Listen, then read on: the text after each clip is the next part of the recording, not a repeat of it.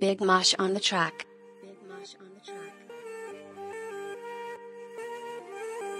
Hey, J1, that's Flames, my boy.